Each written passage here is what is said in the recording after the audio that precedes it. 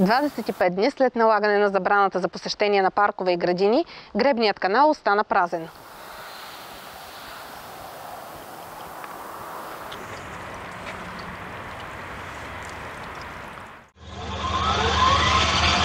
Часове след като падна забраната за посещение на паркове и градини, гребният канал се напълни с хора. Добре ли, че облегчиха мерките?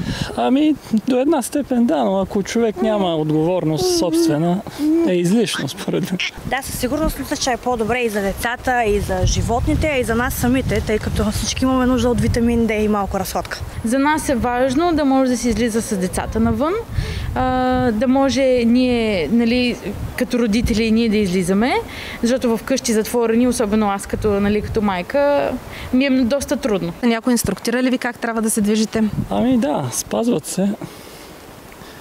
И така, да. Смятаме, че слънцето е много полезно, особено за подрастващите. И... Не все още, тъй като започнахме малко по-рано там. 200 метра вече вървим. Има там един от там, който казва, вие трябва да се движите само по часовниковата стрелка. Нали? И да няма разминаване между хора. Обаче никой никъде не ти казва какво трябва да правиш. На влизане в самия парк има много входове.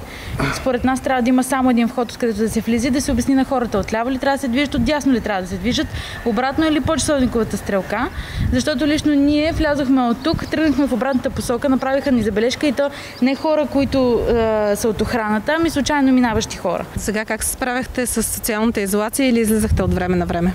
Ами тъй като аз лично съм с домашен любимец, нямаше как. Но не беше това, което трябваше да бъде. Така че да, сигурност е по-добре, че се облегчиха мерките. За мен разкарването или разходката беше само до магазина и обратно, когато има кой да гледа детето. Таткото си ходеше на работа и това. Трудно беше, наистина.